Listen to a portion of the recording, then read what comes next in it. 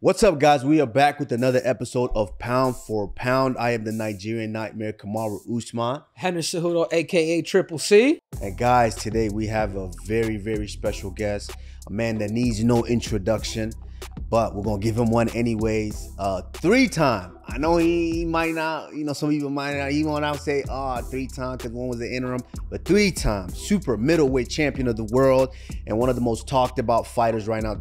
Not to mention the youngest champion, super middleweight champion, Mr. David Benavidez. What's up, man? Vamos a abrazar. Thank you guys. I appreciate that, and, uh, and it feels good to be here with you guys. A Shadow Line production. My guy. Yo, I'm, obviously we've been watching you for a while now. You know, we've seen other body of work that you've put in, and you're kind of you're kind of the talk of the uh, of the boxing world right now. You know, obviously there's there's the little guys, but they've always been this little guys. You know, historically, you know they do well, and then you've got the big guys, and then you've got the guys that can transition, and you are kind of one of those guys that can transition because you're like, besides Canelo, you are the guy that everyone's talking about right now with your style, the way that you finish fights, the way that you come to fight each and every time. It's never a boring fight. I mean, David, the body of work that you've put in has got you to that place now, but you're you're still chasing something. You're chasing something. Yeah. No, yeah. So right now I'm basically chasing all four titles. You know, it's a right that I've, you know, respectfully earned. And um, I've been, you know, I've just been putting in a lot of work for a long, long time, bro. I'm 27 years old now. I have 10 years professional. You know what I mean? So I've just been putting in work. I've been beating the people who they needed me to beat. Um, you know, and I've been doing everything in my power to get to that fight. But, you know, unfortunately, that fight isn't happening. Yeah, I mean, it, it's that's kind of one of the things, and kind of like the knock on boxing, which is the difference between what we do in the, in the UFC and in the what the in the boxing has become. Is obviously there's the four titles, which you know for those of you who don't understand, obviously there's the WBC, there's the IBF, there's the WBA, and um, IBO. IB IBO. Yes, It's IBO, right? IBO. WBO. WBO, WBO. And it's, you know, guys can have a piece of, of, of the title in that weight class and then just kind of hang on to that belt and not want to unify. So it makes it very, very difficult to determine who is the best in the world, who is the best super middleweight in the world when four guys have titles and they're considered world champions. Yeah, because it's almost like this, like the belt area, the belt era of the four belts came like in the middle of the '80s, right? Yeah, I think so. Yeah, because that's where you had Hearns and you had uh, uh you know Sugar Ray Leonard and uh, everybody had a belt, the Four Horsemen. Yeah. Like how do how do you how, where do you think that that changes everything? Because you know I, I know you're a, he's a, he's a big UFC guy. This dude is uh he loves the sport of mixed martial arts. Even even before it went mainstream, I remember training with him and his brother. Like they would always watch like WEC, uh, UFC. But how now, David, especially and particularly in your position, the fact that you know let's let's let's, let's call the pink elephant in the room. Canelo, he doesn't want to fight you. Yeah, bro, it's, it's a little hard, you know, just to because obviously this is a fight that everybody wants to see. It's the biggest fight in boxing, in my opinion, right now. But it sucks when a guy, as Canelo says, that he's the king, he can do whatever he wants. He's basically holding the belts hostage. You King, know what I mean? yeah, of course, king or prima donna. Yeah, basically, you know what I mean. And um, like I said, I just I did everything in my power to make this fight happen. You know, I won the interim title, I won title eliminators, and I beat the guys who they told me that I couldn't beat. So I'm I feel like I'm in line for this fight, but the only reason that he doesn't want to fight me because he knows that it's gonna be a passing of a torch. It's not gonna be him with his victory in his hand race. It's gonna be him passing all the, the torches to me.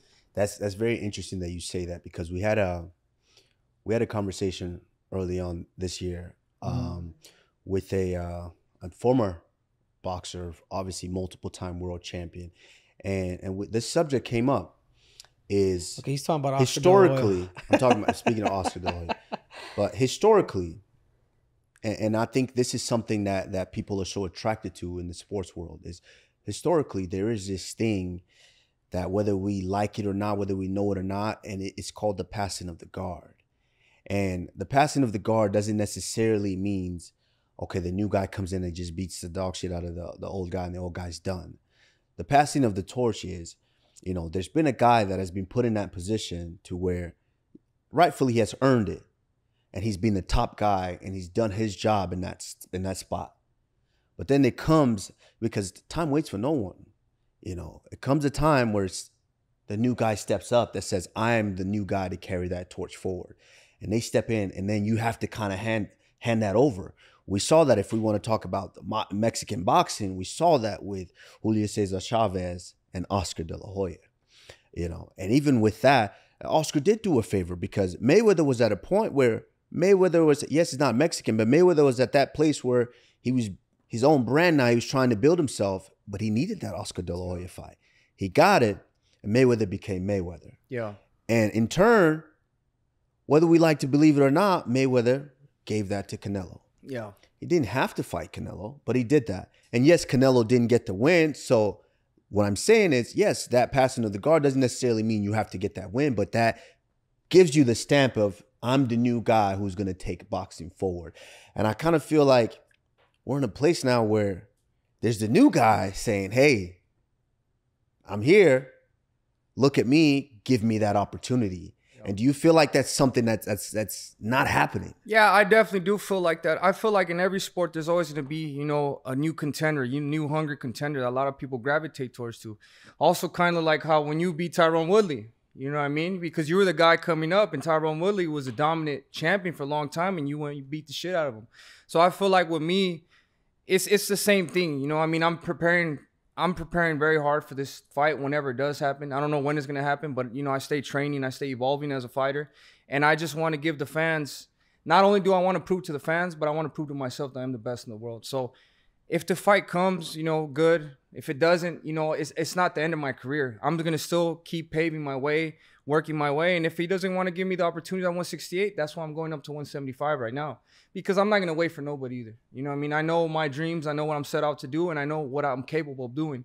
So this is why, you know, I said if it's not gonna happen at 68, I'm gonna go up to 75. This fight's gonna put me at the number one contender to fight for the WBC title, and those are gonna get unified in 175. So, you know, like I said, dreams always come true. It doesn't matter if somebody else is trying to stop you.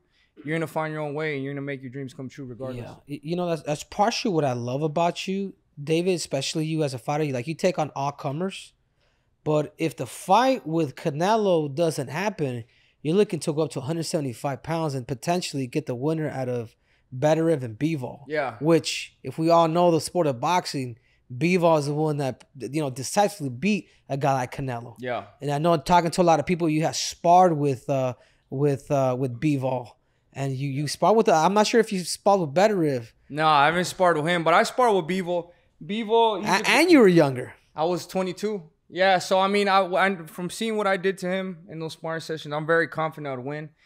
But I'm not gonna, you know, be a fool and just use confidence as the hundred percent fuel. You know, I'm gonna go in there and work extremely hard, and that's why I want to be a part of these big fights too. Because as you know, both you guys know, once you get a good, like a really good fighter in front of you, the training camp is different, the mentality is different, and when you get in that ring, you shine. And I, that's what I want for myself. I want to be put in them hard positions. I want to be put in, you know, where you have to use 100% of your skills. And that's why I feel like the best will come out of me. So I'm not scared of it.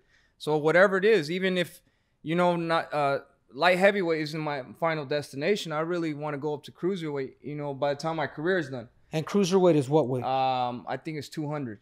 Ooh, so that's cruiserweight. Just another. It's, Yeah. So you're you're a weight class away from going to actual heavyweight. Yeah, yeah. But you know, we're gonna move one step at a time. We got light heavyweight. And that's uh that's a division I've been wanting to go to for a long, long time. I mean, I, I did my 30 day weigh in um yesterday. I only have 13 pounds left to lose. So I mean, so I, I feel great. And You um have 13 pounds left to lose to yeah. make light heavyweight. light heavyweight. One, which is 170. what was it? 175. 175. Yeah, so I'm I'm like a month away. So I feel good. I've never felt this good. You know, a month. Of, I felt good, but like in weight terms, Yeah, yeah. you know what I mean. So I'm I'm just ready to take on this uh, this uh, challenge. You could so you can you can easily get okay. We have to ask. How what do you walk around when you're not? I in walk camp? around like 200, 200. 200. Tamale season. What do you Tamale want season, What is it? burger season, season lobster. every- It's everything Yeah. season. I Okay. hear- I hear you, man. Like when, when you see a guy like Canelo and you're thinking, okay, why doesn't Canelo want want to fight me? What makes you problematic, and what brings I'm gonna say what brings that fear into this guy? Whether you guys want to call it the passing of the torch or the passing of the guard, what is it that makes Canelo not want to fight the Mexican monster? I think it's just the way I fight all my every single fight. I fight. I don't fight for to get to twelve rounds. I fight to knock everybody out. You know, to implement as much damage as possible. And there's just a variety of stuff I could do. You know, I can fight on the inside. I can fight on the outside. I'm very fast. I'm very powerful. I like to throw combinations. And if and jab, also jab is my favorite body. That's what I'm saying. I could do a lot of stuff. And if you really see the people that Canelo has trouble with are the people that throw a lot of combinations. And that's my specialty. You know what I mean? And um I just want it. I feel like he knows it. He knows that how hungry I am for this fight. As much as he tries to say that I'm not, I'm this, I'm that. But he knows that I'm on his ass, and he knows that once we get in that fight, this is gonna be the hardest fight he's ever been through. Okay, so I I watched your I've seen your fight when you fought uh Ronald uh his last name I was Ellis. which uh gave you the the title, Mm-hmm. I believe. And you know, an impressive fight because that fight was a it was a back and forth, a tough fight. Yeah. It, it it looked tough. I that mean, guy even was though actually, he was actually from Canelo's camp. His main Really? sparring partner. Yeah. yeah, it, it looked So tough. he, even so he though it looked sent like Canelo a message, but Yeah. hey, don't fight. even though dudes. it looked like even though it looked like you were you were having fun in the fight. Yeah. you know it, it, it but you just you kind of started pouring it on and pouring it on and clearly from that fight we could tell that it, it was he was he's a great boxer and he did a great job of boxing and mixing it up but for you it was just every time you would land a shot it just seemed like the shots were more effective in the fight Yeah. and obviously we got the the lopsided score you know one judge gave it to him you know 116 i think 111 or 112 something like that but you ultimately pulled away from that. But looking at that fight and looking at the the fighter that you were then compared to the fighter that you are now. But you're you're talking about Ronald Ellis. I mean No, no, Ronald no. El- Ronald No, Gavril. Gavril. Ronald Gavril. Yeah. Yes. So I could I could tell you the whole thing about this story. This, this so this fight how it happened. It was my first title fight. I was 20 years old. So I went through a lot that fight. I think three weeks before my uncle had died. Really? You know what I mean? So it was my my mother's brother. So I was very close to him. That really fucked me up. You know what I mean? And then having to fight three weeks after that, you know, this is a person I love dearly. And that was the first time I've ever gone through like a relative dying like that. So it was very hard for me. But take nothing away from it. Ronald Ellis, he went. I mean, Ronald Ronald he went, and showed up. He fought a great fight. But I feel like we pulled, you know, from what I was going through in that fight. You know, and I was also got sick the week of the fight. I did the best I could and I got the, the victory. When we did the rematch, I don't know if you've seen the rematch. It was a completely different fight. It was a yeah the rematch because it was a close fight. You know, I give it to him. He did really good. He won some rounds, so I said I agreed to rematch in the back room. I'm like, we got to do it again. That fight, I won every single round. I think I only lost one round. But if you could go back and look at that one, that was really good. But what's changed for me too is just evolving as a fighter. You know, I think you know as well. Like, just because you win a fight, you know what I mean? It doesn't mean that you have to stay in the same, learn the same thing you're doing. You have, you evolve as a fighter because the fighters evolve as well. You're not going to get the same fighting style every single time. You're going to get something different. People are going to do different. People are to catch up to the stuff you're doing, and you have to do different stuff. So that's just also me just being the best version of myself I could be, you know, and then just, you know, just being comfortable where I'm at. You know, uh, that fight I was 20 years old. Now I'm 27. Been professional 10 years. You know, I've been through some hard fights, been through some easy fights. But I use all that as fuel as, and, and all as experience, you know, as to where I'm going and how much better I could possibly get. Yeah, watch watching that Canelo uh, Munguia fight, and if you notice those first couple rounds, like Munguia, he it seems like he had the right game plan, Yeah. pressing him, using his straight punches. Like I, I sometimes wonder, even those first couple rounds, but then what happened with Munguia is he kind of went astray from the game plan. He went back to that Mexican style. Yeah. You know, what discipline do you need to have to fight a guy like Canelo in order for you to actually be like you at the age of 27? You you you have the ability, obviously, and the experience to be able to fight this dude where you're maybe make may, maybe make him backpedal. Yeah. Exactly how is it that uh that Beterbiev did to did to Canelo is pretty much all right, man. I'm not gonna react to your punches. I'm I'm I'm, I'm sorry, Bivol. I'm gonna get you kind of somewhat going backwards, and uh and I- me watching the fight, I'm just thinking like, all right, man, how is it that David would actually fight him? So if you if you look at the bigger guys, the bigger guys that Canelo's fought with power, you could tell that He doesn't seem like a 68 pounder me. he doesn't he gets pushed back by them. You know what I mean? He gets the, the he doesn't really take the shots well like as when when he took the shots against Billy Joe Saunders and Caleb Plant. So he's he's vulnerable for them shots. And then when when Munguia was throwing more combinations, you could kind of see Canelo coming back. You know what I mean? Getting pushed back. I feel like Canelo, he's too smart of a fighter. You just try to one shot him. You have to throw combinations and combinations and, and keep him on the end of the jab, and also use the ring. When Munguia messed up at, he stopped using that game plan, and if we he You, stay you just started inside, pressing more. That's when he would get caught with the body shots and the uppercuts. and the thing about Munguia too, his defense is not that good. Yeah. So that kind of didn't do him no good either. You know what I mean? So So he went from his gift from using his length to eventually kind of fighting inside. why would the why would the taller man fight the inside? yeah You doesn't know make what I any mean? It sense. doesn't make any sense, especially when he was having success throwing his combinations Yeah. and his jab. He should at just the, stay at with the that. talent of his jabber is right hand. yeah. hmm You know, if Canelo's not that big, dude. You're six one. He's five eight. Yeah. He's, he's small. Yeah, he's he's a small sixty eight pounder. I mean, He's he, and I, I agree. He he's a smaller stature. The one thing about him though, when he does get inside the ring, he's big. Hmm He's big. The way he he corners guys, the way he kind of breaks guys down over time, he's big. Yeah. Actually watching and studying him. But this is one and I've been hearing this a lot. You know, I I don't I absolutely don't believe Canelo is scared. And I, I think you understand that as well. You know that. But there's I- I- something I, disagree, but go. there's there's something because you can't be you- you're not scared to be a world champion is is i don't care if it's someone that's extremely you know that might be dangerous to you but that's what we do that's what you do that's what you taking all these shots you sparring with these guys since you were young you were of course you you you know you might be a little worried on the inside but you step in there and you spar with these guys anyways and then you get done you're like oh i didn't die Yeah. you know, I'm good. So Yeah. I, I don't I don't I don't believe that rhetoric. Oh, Canelo's scared. But if I'm I understand Canelo's position. If I'm in his shoes towards the tail end of his career. two hundred million, Kamaru. Two hundred Oh, you million. Go ahead. Go ahead. that. Towards the tail end of his career. And I have a piece of paper in front of me with names on there Yeah. of uh, which guys should I should I pick to fight? I've got Terence Crawford, Munguia, Caleb Plant again. Let's say Jer- Jermall Char- uh, uh, uh, Charlo, David Benavidez. I'm looking at all these names. Uh, who do I pick? I'm gonna look This away. one, I'm gonna maybe- look away. This one 20 million, 25 million, maybe 30 million, 35 million, 150, 200 million. But I'm at the tail end.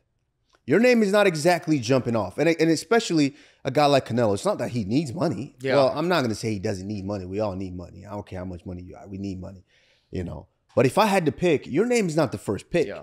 because you you possess the you pose the most problems. Yeah. So I understand that from his perspective, being at the tail end of his career, do I want to fight this guy? But what I don't, what I, I I don't understand, and what I have a hard time with, is him understanding that he is that path for you becoming the next face Yeah. of boxing. Yeah, but but, but hold on. And Before, not before, you, giving before you you answer that, David. that oppor- and not giving you that opportunity. That I don't like, and I and I don't understand. Yeah. Because if he does, if he does believe he's still the top, the king of boxing, then of course I would go ahead and No, silence of, course, all the of course, all, all the, all the, but the, the biggest, doubts. the biggest thing though that I'm going to say is under the WBC, he is the mandatory.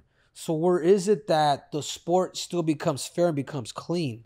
Like oh, you know we, what I'm we, saying? we've- Like okay, we al- like- we've already known that. At the end of the day, people are vacating vacating titles so they don't have to fight But, certain uh, people. yeah, but if that's the I case, understand then, that. then if that's the case, then if he But- can't, if he cannot find the mandatory, then vacate the belt. Simple. So to be honest with you, I agree 100% to what you're saying. And I've said that in interviews before. I feel like he's getting the easiest fights first, setting up his retirement plan Yeah. with me. But like I said, if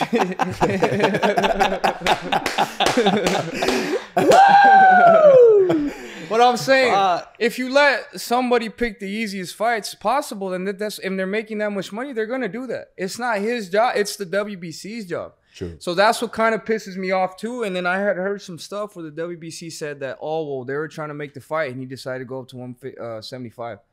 Bro, I was here. I was literally here in this apartment waiting for three, four months to get a call. Like, hey, you know what I mean? I was getting ready the whole time, and I didn't hear nothing. I said, all right, well, let me see. I'm not gonna be at 168 no more. Let me go up to 175. I thought that that would be cool since I'd been the number one contender for three years. I thought I was gonna be able to go up, uh, come back down, but then I didn't like what I heard saying. Oh, they're saying the WB saying that David has 10 days to decide whether he's gonna stay at 175 or come back to 168. So it's like, come on, dude. Like I've been saying, I'm not saying I've been fighting, winning the fights. I'm not really even complaining to you guys like that. But if you guys put this 10 day time period on me, like what the fuck? Like you guys think I'm not gonna say nothing? Like that's kind of disrespectful to me, to be honest with you. I mean, I've been number one contender for three years. People been wanting to see this fight. You guys gave the opportunity, the WBC, to Jaime Munguia first. Now I think Berlanga might get the, you know, his number. He's a Yeah. contender to fight. So it's a, it's a Well, whole bunch of crazy shit happening. What's bro. what's what's uh what's Berlanga's what's his ranking? I don't know, but I Is guess he they're making s- them mandatory. You know, I mean, I don't want to talk bad about him. either. I know he's doing the best he could do. He's he's he's training hard. He's a good fighter. But like I've been there for a long time, bro, and I've been beating Yeah. the people they told me to beat. I- but like I said, if if I'm not gonna get this opportunity here, bro, I'm gonna go look No, no, of else. course, and, and I feel like you going up to 175 pounds, you fight a guy like Bivol and you beat him. You know how bad it's gonna make Canelo Yeah. look, And that's- on top of you conquering another thing, and then not just that. David isn't finished there. The dude's going down and fighting a freaking welterweight, Yeah. 147 pounder, and he wants to put a clause on you. You cannot be 20 or 30 pounds heavier Yeah. when you go into the Yeah. ring. Like, how much bullshit is Yeah. that? So- like, like if you ask me, which, which I'm, I, I, I disagree with Kamaru. Yeah, I think he's scared. yeah. I straight up. I, But, th- no, but one thing ahead. I do want to say first, though, the vision I have for myself is I'm gonna win this fight. Then I'm gonna fight for the unified titles at 175, and then maybe we could get a catch weight 173 with me and Canelo. Winner takes all. 75 pound belts and 68 pound belts. You could do that. Do you think? Shit, why not? why not? Okay, so could do you, you could. You do you think a you could you could make sixty or sixty eight? Yeah. You could make that. Yeah, So, no, I, I. But no, first you- of all, but- I want to. you I hear what he said? For, Did you hear what he said? Yeah, I, I, I hear what you said, but which at the end of the day is now, you know, for the WBC to go, okay, yeah, you can hand our belt away at that weight class, even if you don't make the weight. You know, it, it just goes to show. I mean, first of all, we already know they're picking and choosing because for Canelo to be able to to do this, uh, play this this game, that's them. Because as we know, the the the, the the governing body they they like who they like. They like their stars. Okay, this is our face. This is what we want. So they kind of they kind of angle to that person and they play that, they also get percentage as well. Which That's is- a big part. which is which which is what sucks Yeah. It's huge. about it because everybody want to keep they want to keep their cash cow. yeah, But I think you're on the right track. I think you're doing everything that you need to do because I think you've you fought who you need to fight. There's besides at 168, who else is left? You fought Caleb Plant. You fought uh uh you beat Anthony Dirrell. yeah. You know, you fought Andrade. everyone on Andrade. Andrade, Demetrius Andrade. You fought everybody that they needed to be Yeah. there Yeah. except the one guy. Yeah. And if he's not willing to fight you, and if you're willing to say, you know what, I'm not sticking around here. Yeah. I'm gonna move up. This is the one thing about what we do as fighters. The world recognizes it. Yeah. They see who's fighting. They see who is willing to take those chances, Yeah. and they know who's gonna be the face. Yeah. So it doesn't matter whether he fights you or not, whether he says yes or no. If he's willing to go out like that, knowing that he didn't fight them, Yeah. you don't think Mayweather, boxing fans know that?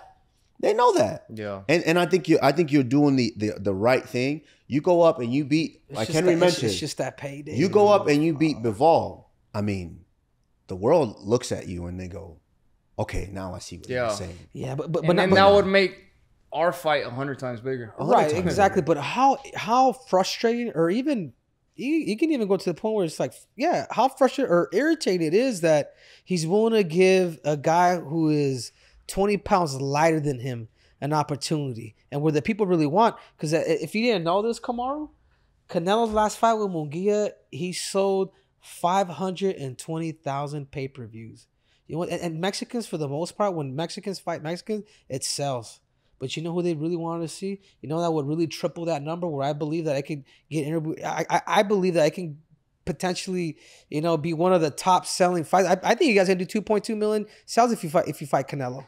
You know what the whole prediction? Why is because we go back to Manny Pacquiao, Mayweather. But how frustrating is that for you? The fact that he's willing to give, and I love Terence, and I think Terence is right now for me. I, I feel like he is pound for pound. Yeah. You haven't had a chance to really prove that No. with somebody big like Canelo to be able to say that. But right now, the fact that he's choosing a guy who's twenty pounds lighter, like, Yeah. like, like, like, like, where you at with that? So to be honest with you, it's, it's extremely frustrating. You know, I could tell you how much I'm frustrated. You guys understand me, but for the people who don't understand me, it's like you're putting in work year after year, doing the best you possibly can, in line for a promotion, and you just never get the promotion. You know you've been working hard. You know that everybody recognizes the work, but you're not getting the promotion.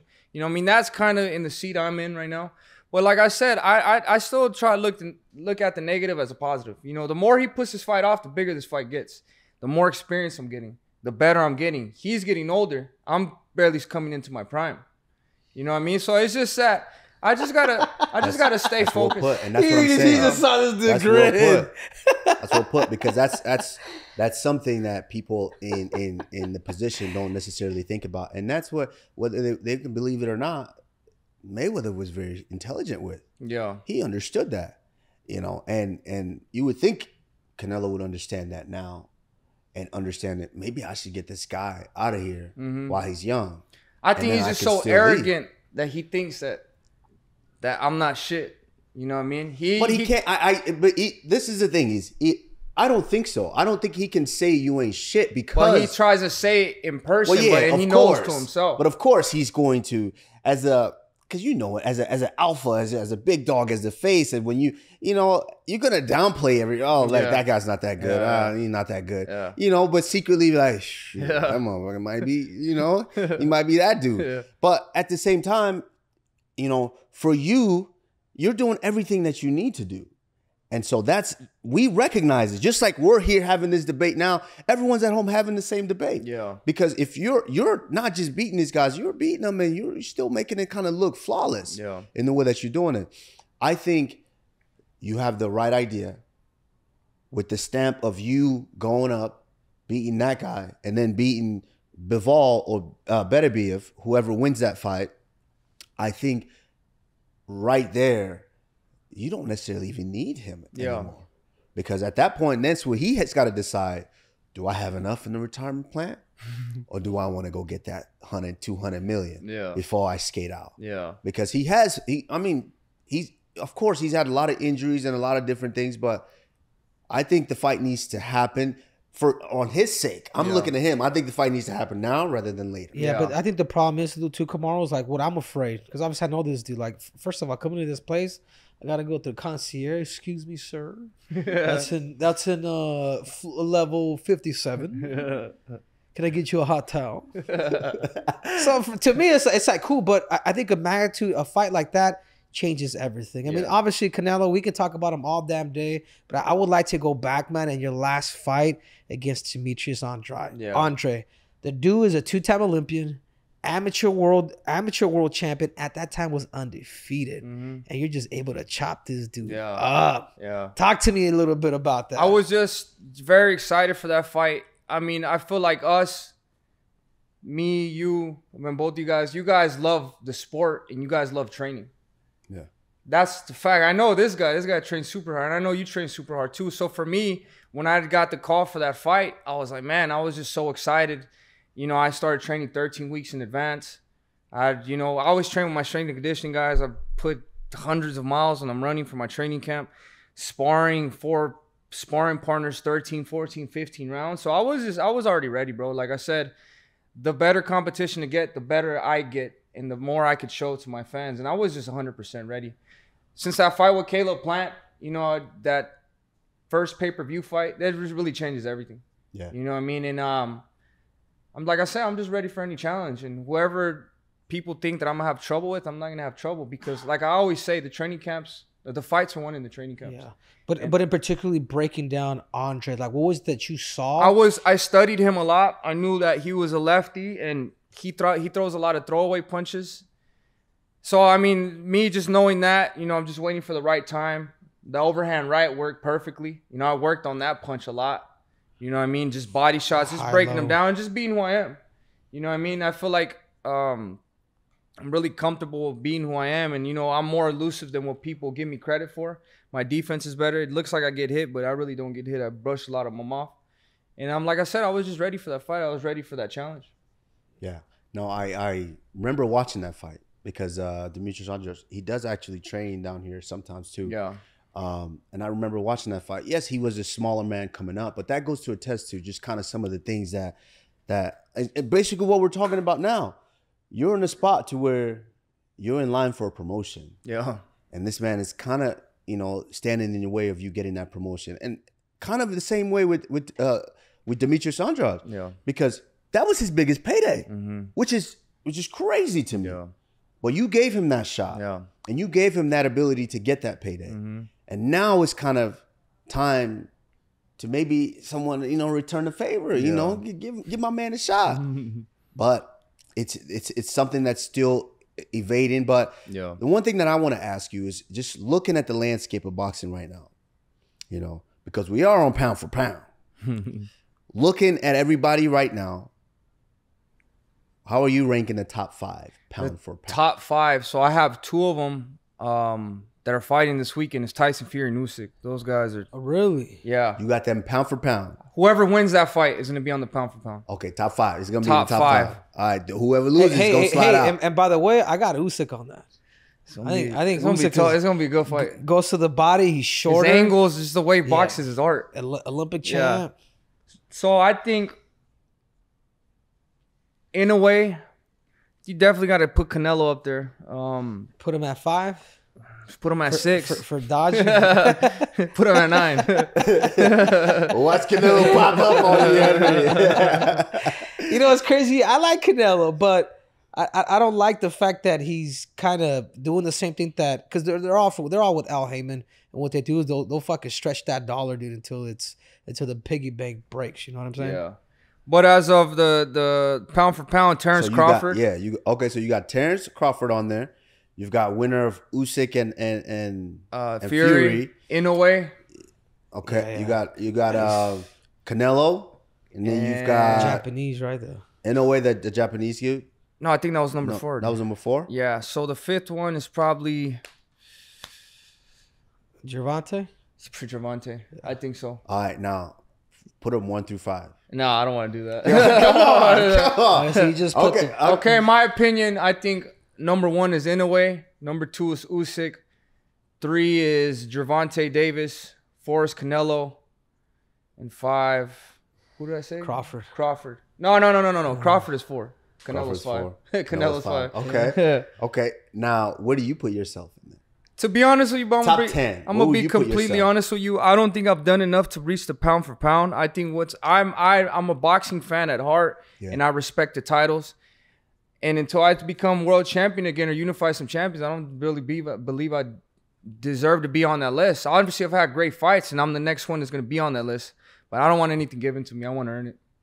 Ah, I like that. I like that. See, that's it's one thing that I like is is self awareness and you just being being humble with yourself, even though you know you you that dude. Yeah. Because you gotta know you that dude. Yeah, Because you gotta have that confidence. No one steps in there and just going, "Shh, I don't know if I might get him. yeah, You know, you gotta know that you were that dude. yeah, But it, it's something about it, knowing that you were that dude, but with the with the humbleness Yeah. behind it.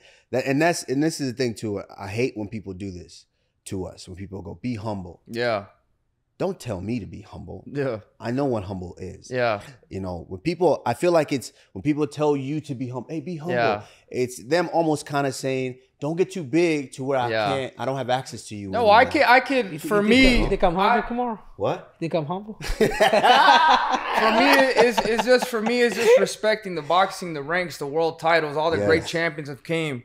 Roberto Duran, Oscar De La Hoya, Marco Antonio Barrera, Roy Jones. You know, these guys when they were on the pound for pound list, they were unified, or you know, had beat somebody that beat somebody, or beat three, three or four, five somebody's.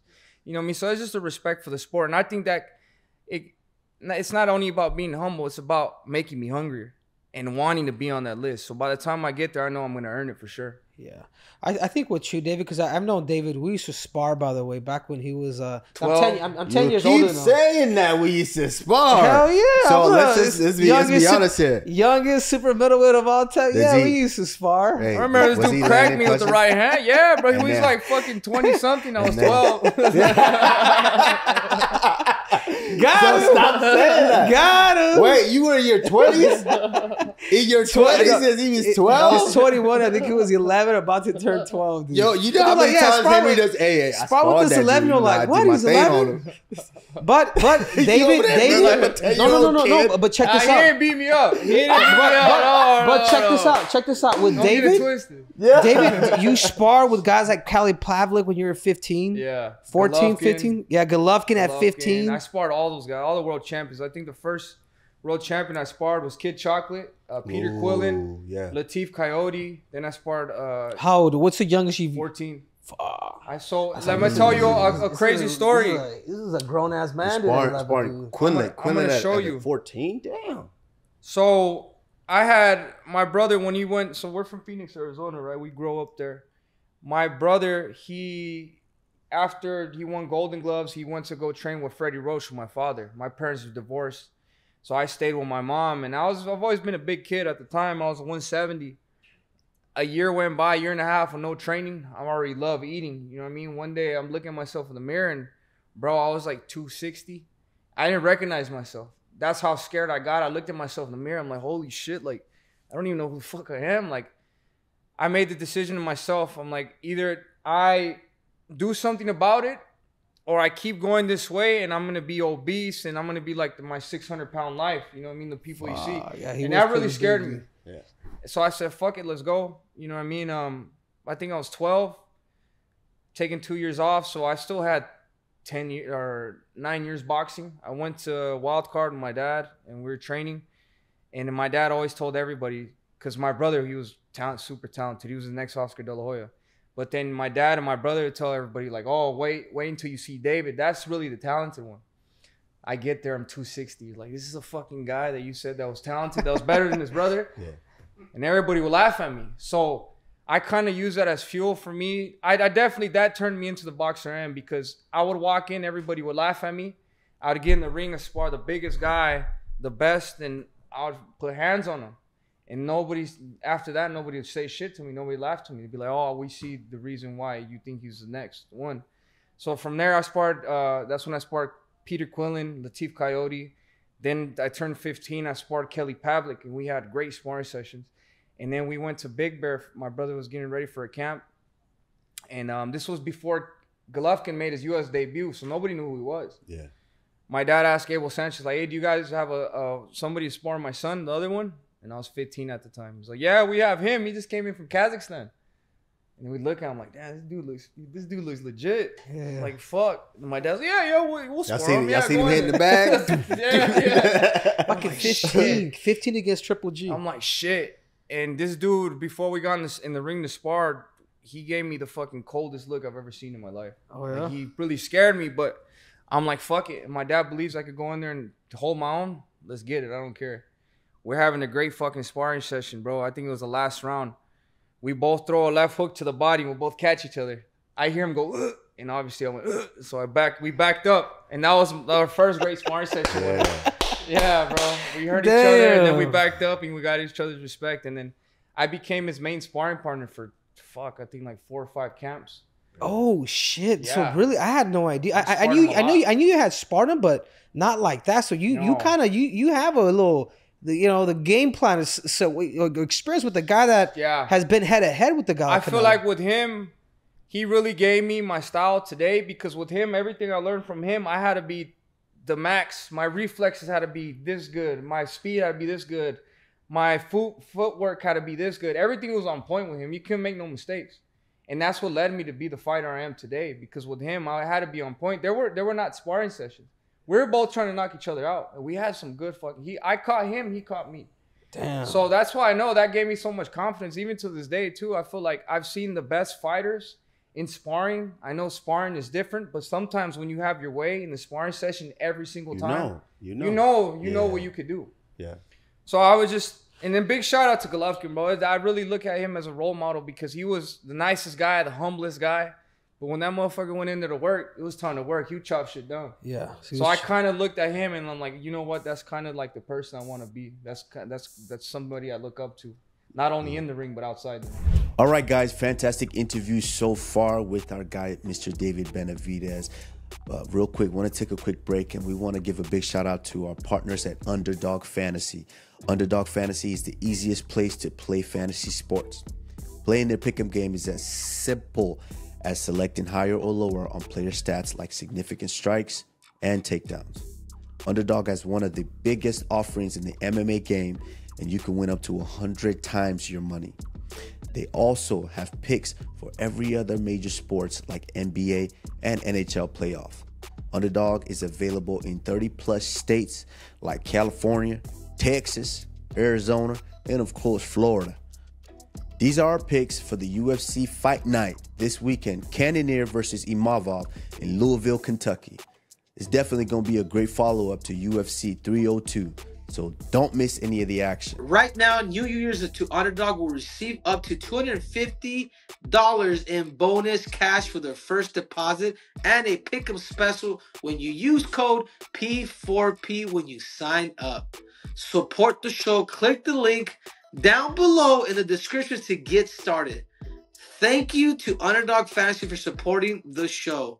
Now let's get back to our interview with the one and only the Mexican monster, David Benavidez.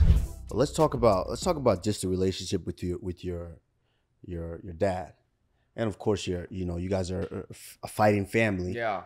Um, to where, how is that? To where your your dad's bragging about you, bragging about you, and you've been with mom, Yeah. and now you come you come over you you know you're a little thick you know and, thick and delicious. it- it's talk talk about the relationship with your dad to where you know how that goes with okay i'm deciding to change my life dad i know you can help get this on track how is that relationship from then and how is that relationship now So I can start it now. From now my he means everything to me. If it wasn't for my dad, I would not be in this position. And I give him credit a thousand percent because I've tried to quit a lot of times. He never let me.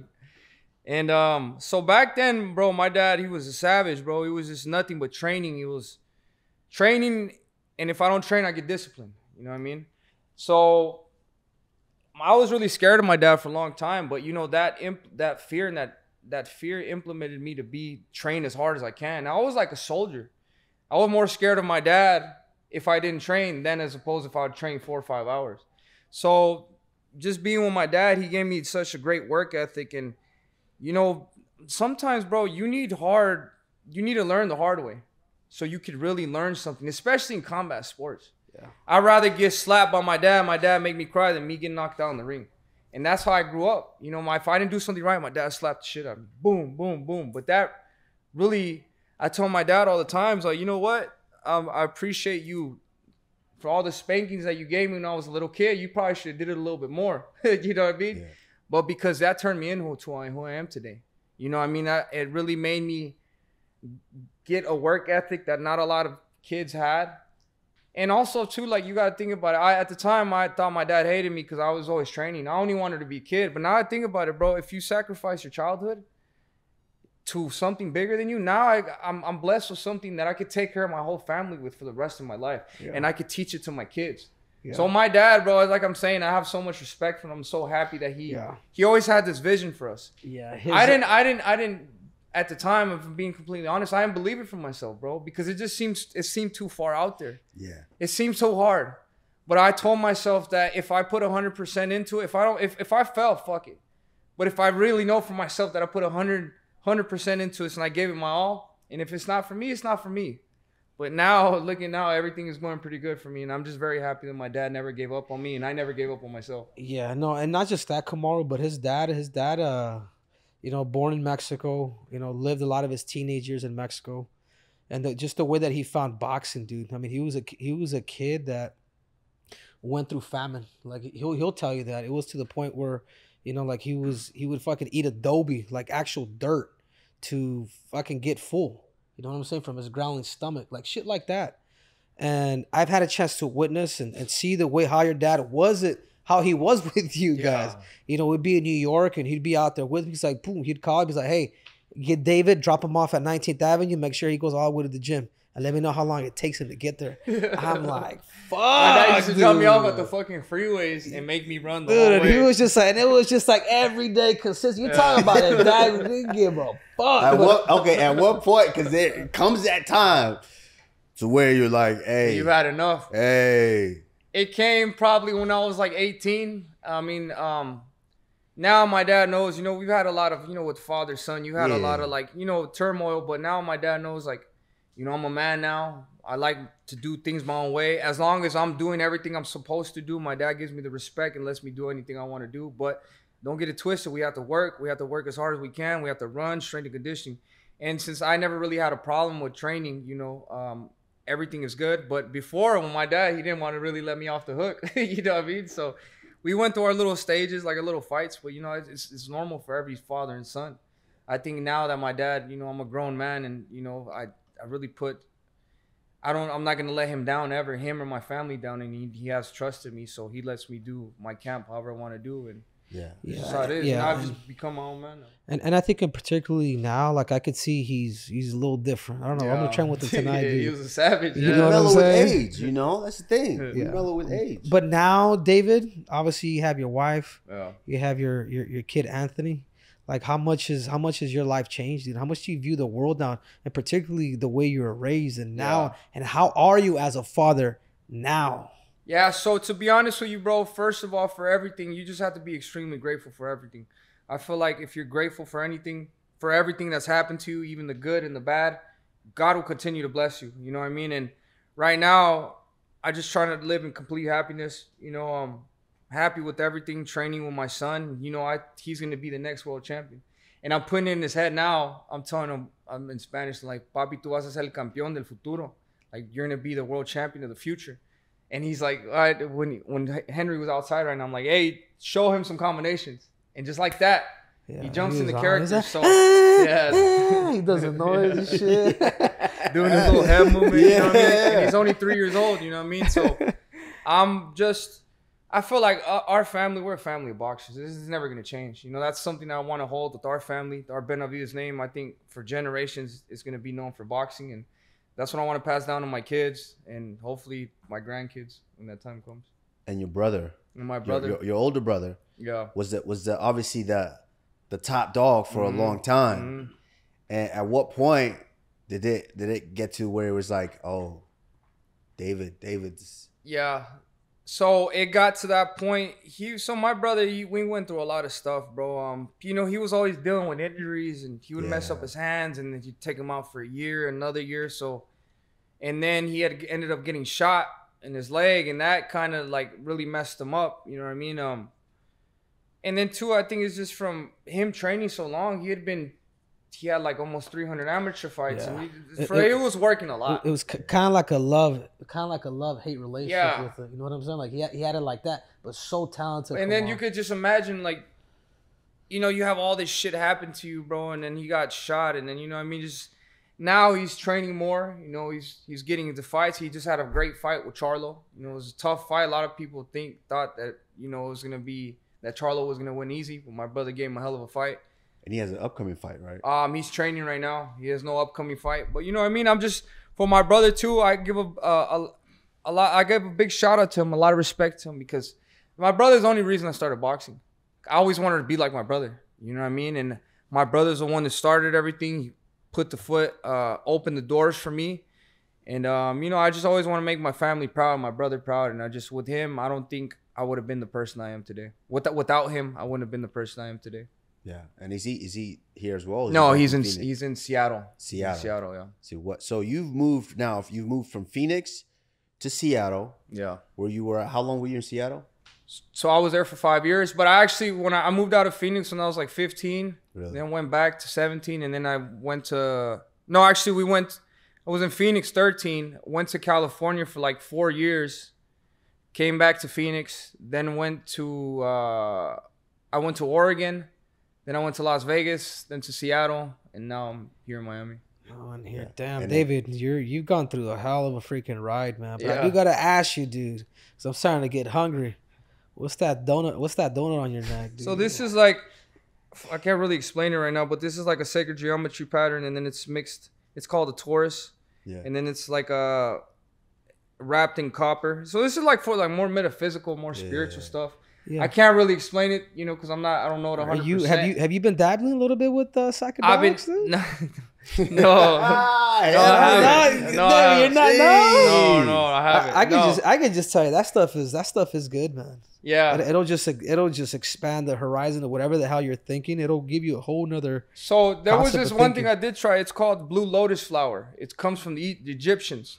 You can make that in tea, and then you go like in meditations. It takes you really deep into meditation. I'm a big meditator. I pray a lot, and uh, I love sacred geometry. I like the old ancient history, like the Egyptian history. What what what do you mean by uh uh? Sacred geometry. They're like patterns. There's they're Is that patterns. like like off of uh uh um Doctor Strange? You know so like at so was- like when you look at stuff I'm- when you I'm look at you. when you look at stuff at the molecular level like Yeah. through a uh, microscope there's patterns there and everything. There's a pattern called the flower of life which is Yeah. this. It's actually in our back. If you look i forget what spot but in the back you look at it it's there. Yeah. and these are like this is stuff from like ancient egyptian times And that's Um, and that's and when you see when you with the thing you just showed me right now. so this is how it looks. It's like a flower. So all these are basically circles but they intertwine and they make a flower. It's some really deep stuff bro. I be i can't explain it to you 100% because i don't want to i don't want to get something wrong and you know what i mean Yeah. but if you get understand into it get into Yeah. sacred geometry numerology astrology Yeah, all that stuff numer- is really numer- interesting Really, Where, All that dude, you stuff is really, really interesting. No way. it's because like you think about it bro I, I sometimes i think about stuff like i feel like So t- t- talk to me a little bit about numerology. I'm, I'm kind of curious. I, that I, I don't want to explain it because I don't want to get stuff wrong. Yeah. It's it's it's it's uh it's deep, I, bro. I- I was Yeah, listening. I was listening. I was listening to and a guy That's important. hmm that was talking about numerology, and he's a guy that kids have named their kids after him. It's not like he's not like starting a cult or anything like that. Mm-hmm. but pe- people that have had like a certain amount of or the wife wasn't able to get pregnant dude Mhm. and he's able to say all right man what's your, when's your birthday he's able to just come up with this whole thing as hey if you guys do it on this day you guys take the test on Yeah. this day and i promise you will be pregnant So there's certain days like lucky days, like seven, nine. It's just, it gets really deep, bro. I wish I could explain it to you more, but I really can't. I've been trying to do my own research, so before I try to explain it to other people, I'm trying to figure it out first. you Yeah. dabble But into it- that kush But it's cool, bro. It's it's not so much that I dabble into it. It's it's kind of like it's kind of when we had the question of I, I've been asked this. I've had this discussion a lot of times when they're like, "Oh, do you think there's anything out there? Is there aliens?" And I'm just like, for me to sit here and think that, okay, we're just this species on this one planet in this solar system in this galaxy and there's many of galaxies first of all we can't even get to that next planet or the next one how can i sit here and say and especially like doctor strange i seen that and it freaked me out because you know that my connection to that and, and wanting to open my mind and all of these things it's all part of this spiritual realm to where i feel like you have to have when you because you becoming pound for pound you becoming champion that's that exists in your head first. That that kind of lives in your head a little bit first, and Yeah. nobody knows it. No, everyone's like, I'm I'm sure a lot of people probably laughed and said, "Oh, this this thick kid, oh, he ain't gonna do nothing. He can't be that. He can't do this. Yeah. He can't do that." But you believe it in your head, and then you turn that into reality. Yeah. And so, so your spiritual connection to whatever you believe in, that's something that's very, very powerful and very, very real. And I think I am very spiritual when it comes to that. And I can see that you are you're you are very spiritual as well Yeah. because and, and you yeah, right now you're just boxing, but I think you have a bright future. You can do a lot of different things. Yeah. Thank you. You know, you speak you speak very, very well to where we see that with a lot of boxers who don't get out, you know, at the Mhm. right time to where they kind of have trouble with that later on yeah. you know, you speak well, you you're you're you know, no homo, you're a good looking dude. I can't say that anymore. Pause. or Pause. Or you no Diddy. I don't know what they How come- say. how what the cool kids- said? I don't say what the cool kids are saying now, but but you know, you you you you have I think you have a bright future to do many, many things, but not just the sport of boxing. Yeah. But right now, it's hard to deny that it is your time in Yeah. the sport of boxing. Yeah. And I and I think you're taking it very, very well. And I think you're gonna be a hell of a champion. By the time you're done with your body of work, I think we're gonna look back and say, "Oh yeah, he was special." Yeah. So I just wanted to say something else on the spiritual side.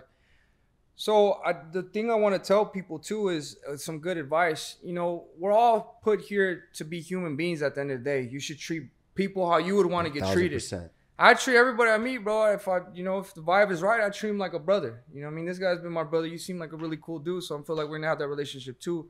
But if you just live by the universal rules, just being a good person, helping out others when you can, and also, you know, just doing the right thing. You know, just being the best version of yourself you could be.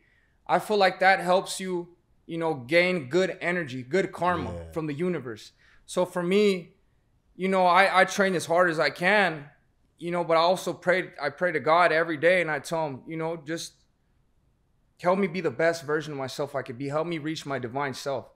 And when you put things in God's hands, bro, you I mean you see miracles get created. Miracles get put in front of you, bro. There's been stuff that's happened to me and I'm just like, I don't know understand how it happens. You know what I mean? But it happens in my favor, and I feel like it's because I've been as a person, I treat people, and I really think the universe is watching and everything. When you need that miracle to happen, if everything has been in play and you've been acting good with the, you've been in line with the universe, the universe is gonna bless you back. Yeah. No, I agree. For sure. Henry, are you I know you with the psychedelics now. So you No, I, I I like it, dude. I think if you ever decide to do that, David, and I know you know Uncle Mike, uh, Mike Tyson, oh, uh, this guy. ga- gave. rolling around in the forest. we're, we're still supposed to do it with De La Hoya. Yeah. De La Hoya's been punking out. He's been bitching out lately. But No, I, I you know, think like so. if- look if- at, I do want to do that, but I feel like I want to do it when I'm done with my career. I don't. I think I even heard Wilder said that. Oh, they took the killer instinct away from me. Really? The one his last fight when he fought Joseph Parker. Yeah. But It- that's- it's, it's different for everybody. That's that's what I'm. Yeah, if yeah, you I don't- you would- don't wanna get rid of I that? don't want to. Not now. or or yeah, I mean, fuck, I don't. Yeah, yeah. it's just it's just different, dude. Like it'll it'll it probably speaks to people different. Yeah. Like Mike, Mike is different. Like for me, it was different. Mhm. I think everything that you're talking about with uh, numerology, uh, you know, everything that we've we've spoken about today, but it'll really just, you know, bring out that biggest insecurity that you probably have or that you probably don't know you have, and how Yeah. you're able to maybe if there's bags that you feel like you gotta forgive somebody, like you're able to just let shit go. Yeah. You know, and, and I'm not here to start a cult. I'm just saying, I'm just curious because, fuck, dude, I, just known you since you were a kid, I'm gonna dude. do it. I'm gonna. I'm gonna feel bad about all the people I beat up. I'm gonna have to call them like, brother, I ain't mean to do that to you, brother. I'm sorry, man. I'm But gonna give before a- you, but before we go, check dude. now. I'm gonna send you the extra. I'm gonna send you that But- extra bread. now. hey, dude, but before we go, dude, I do want to bring somebody here. I want to bring Jose Benavidez Senior. Llegale, papá. Llegale, papi.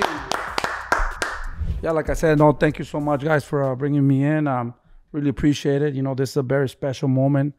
You know, here looking at the beach there and all these buildings, man. It's a dream come true. Actually, you know, I never in my dreams would imagine that David would get this high. I would don't get me wrong. I always believed in him, and I knew he could do big things. But all this to me is like super incredible, unbelievable. Yeah, I mean, I think it's always crazy when things start to come to fruition because, and and, and as a father myself, um, my daughter told me a couple years ago that she wanted to play tennis, and that she want to be, you know, champion and, and, and be like Serena and Venus and and of course, and I, I would say that to her, okay, how many titles you gonna win? And I'm sure like you were doing with him, oh, you're gonna be world champion. You're gonna be world champion. And at that point, you might not necessarily see it. You're like, ah, I can't do that. That's impossible. You're thinking in your head, ah, I can't get there. I can't get there. But yeah, by you planting that seed, you know, I think it's always surreal to when you sit and you start to look out and you're like, yo, I was saying it then, I was saying it, but damn, I didn't think this was gonna be real. I didn't think it was gonna come true. And I think right now you guys are on the cusp of of pulling up. Every each one of y'all pulling up in the in the red, yellow, blue Lamborghini and the Rolls Royce, and y'all, David, you good? You good? Yeah, I'm good, pops. I think you guys are on the cusp of that. So it, I just want to say, obviously, you know, uh, first of all, thank you for even guiding him and leading him to the point now to where we can enjoy and be entertained by everything that he is doing right now because I do truly believe he's on the cusp of that. And I mean, as you can attest, What Yeah, you no, for sure, man. You know, uh, right now with this interview, it makes it so special to be here with Henry. You know, to be honest with you, I never really said this before to nobody. Right now, you know, having Henry or I don't know, it's just timing and all that. You know, the only thing I remember him, you know, being little, having like the toughest training in life. You know, since it was was born. He had no childhood. And then, you know, what I remember now, you know, his red, swe- red sweater, big. you know, to me, all those remember one, things come to me right now, you know, Yeah. all the sacrifices. And he had to go through hell, to be honest with you, you know. Yeah, uh, he's a monster. I, yeah. I made a monster, you know. Jose, how much? Like, obviously, because I was there, and I was just telling him the story when we're in New York, and you'd be like, uh, you know, you call your brother, you call somebody at the at the gym, and you'd be like, hey man, drop off, drop off, drop drop these dudes off, and make sure they get to the gym. like you gotta run to the gym before you actually start practice. How, when when when did you feel like, all right, man, me as a father, now because as we know, in, in, in boxing, Sugar Shane Mosley and his father, they've cr- bumped heads. They they split. A lot of you, hear it in boxing quite a bit. When did you kind of start to allow? Because it seems like to me that you've allowed kind of Junior now and kind of David like become like one of their own. Like when, when did you feel like you had to make that transition? Because you did it just as Fir- a, First of all, you know, I gotta thank all these people for going through all that, so I cannot go through that. You know, uh, I got a lot of respect for um, Danny Garcia's dad, uh, the Ghost Guerrero, Sugar Shane Mosley, and I know exactly what happened with all of them. Teofimo Lopez now, you know, all these guys, you know. I really study what they did, you know. You know, they were too hard on their kids, you know. So I had to do something different. I had to let David. I and we just talked about like about a week too, You know, I I'm happy, man. You know that you're taking over, man. You know I've been doing this all this time. You know, taking care of all the securities, the tickets, the flights, and and, and all that, and the training, and and and and the the the the people that you want around. I want you to start feeling comfortable who you want. You know, and that I feel that he's ready to do that step. You know, and these guys the other guys I, i'm not saying that they did it but they had to do something wrong you know i think they never let go of to me he's still my kid bro he's still ah you know i want to that he's gonna fall i want to i want to get him up you know I, I everything you know i'm always yeah but i have to relax yeah I have to let him make his mistakes. And from that, you know, and he's made a lot of mistakes. But now, No, I haven't. so now I think that was a blessing in disguise Yeah. so he could get better. So, you know, and he's going to still make a lot of fucking mistakes. I'm there with him. I don't, but it- I don't care. See, mistakes are just kind of like the the actions that don't go the way you want necessarily. just missing the target. but it's but it's Learning. they're the best experience that teaches you. Okay, I went left this time. All right, go right next time. I wanted to show you guys something. This was me. This was my first interview. This was when I was like. you- you get the- Oh yeah. Red sweater? The red sweater? That's around the time that. Uh, that's how I remember. Is that- Watch how much. Is it, they're gonna show me full body right now. Was, was, was that for was that Junior's debut? That was the second pro fight.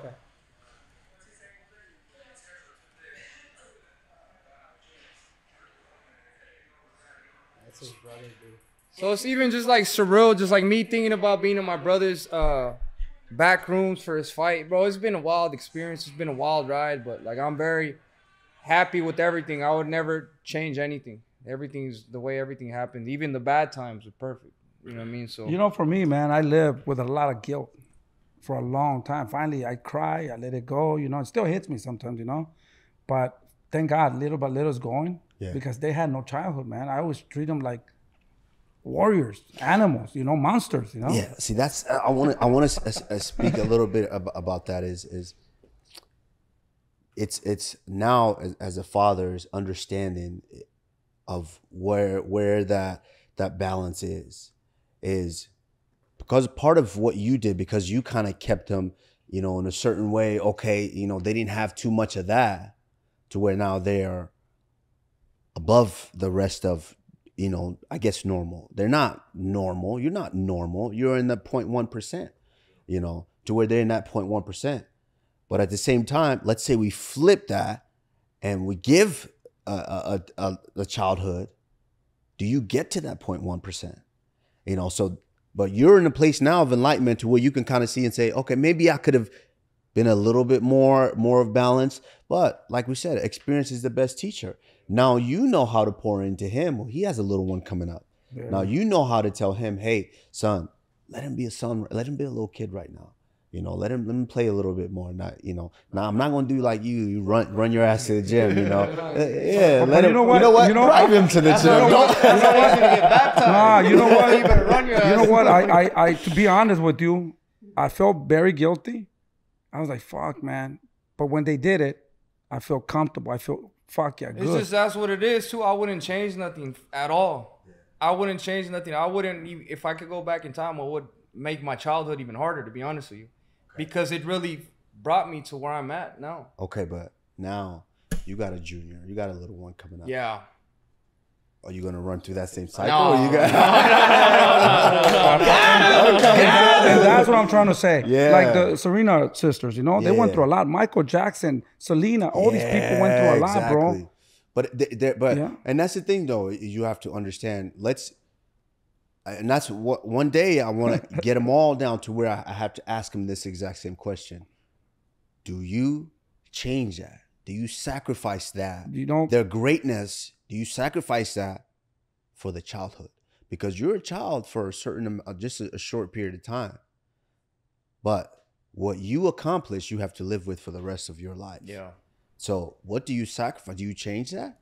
I will not change anything. Like I said, you know, my kids, you know, I, I, I have the pattern. I have the, I have the what's it called? The, I'm little- the, be a the little bit blueprint. easier, but I'm not- I, Yeah, I have the blueprint, you know. So now it worked.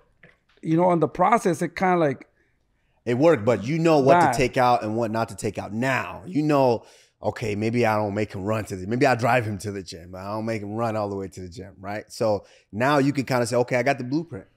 I would still do it. You know, th- that, that's what I'm saying. You know, I would still do it because at the end of the day, I, I, I, look at this way, right?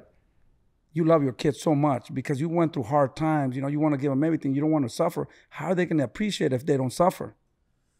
You know, in my opinion, that's what it is. You know, I have my sons. You know, and you know, thank God I made a lot of money through David.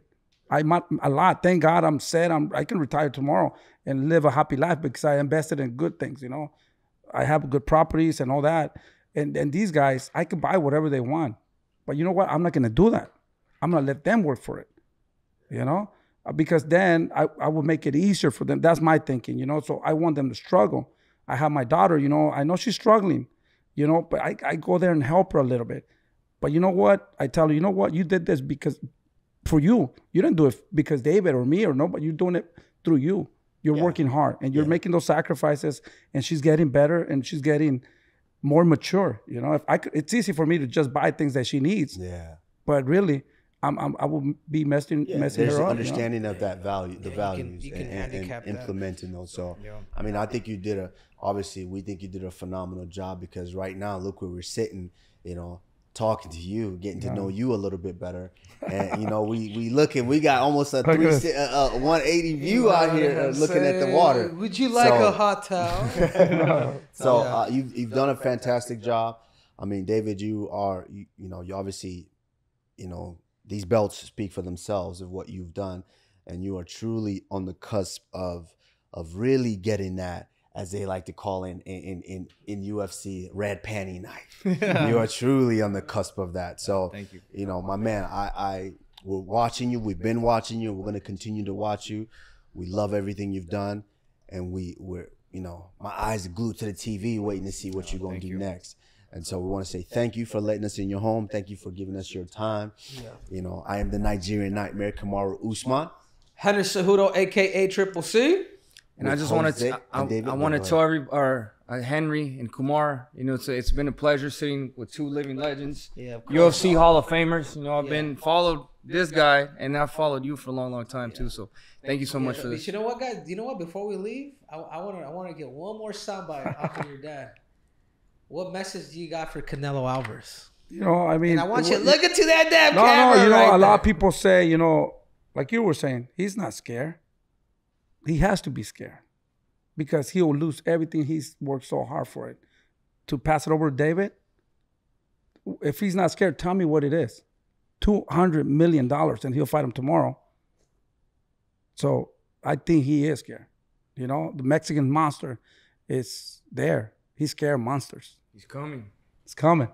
What about you, Dave? You got you got any last message for for Canelo, dude? Man, he know he knows what it is, man. I just feel like if he's really confident in his skills, let's put his skills to the test and let's let the whole world watch it. And the winner take all. Damn. Well, you heard it here. David Jose Benavidez. Pleasure. Thank you. And we are out. Woo!